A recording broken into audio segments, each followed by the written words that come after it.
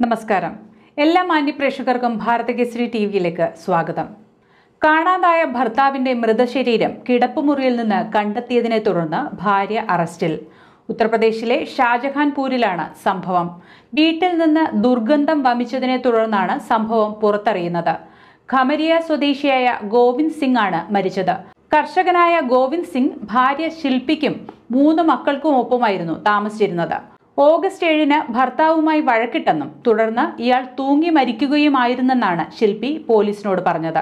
വീട്ടിൽ നിന്ന് ദുർഗന്ധം വമിച്ചതിനെ തുടർന്ന് ഗോവിന്ദിന്റെ സഹോദരൻ പോലീസിൽ വിവരമറിയിക്കുകയായിരുന്നു. ഭർത്താവ് തൂങ്ങി നിൽക്കുന്നത് കണ്ട് ഭയപ്പെട്ട ഇവർ മൃതദേഹം വീട്ടിലെ കിടപ്പുമുറിയിൽ കുഴിച്ചു മൂടുകയായിരുന്നുവെന്നാണ് മൊഴി നൽകിയത്.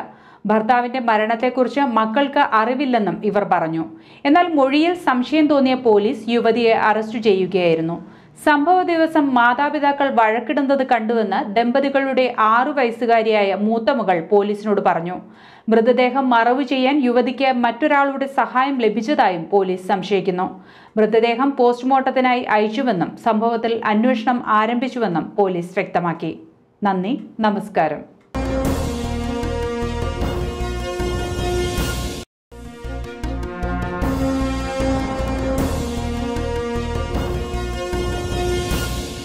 ചാനൽ സബ്സ്ക്രൈബ് ചെയ്യാത്തവർ ഉടൻ തന്നെ സബ്സ്ക്രൈബ് ചെയ്യുക. ബെല്ലൈക്കൺ കൂടി ക്ലിക്ക് ചെയ്താൽ ഞങ്ങൾ അപ്ലോഡ് ചെയ്യുന്ന വീഡിയോകളുടെ നോട്ടിഫിക്കേഷൻ ഉടൻ തന്നെ